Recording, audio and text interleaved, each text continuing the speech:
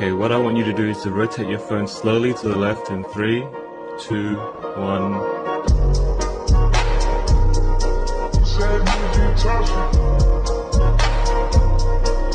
Okay, what I want you to do is to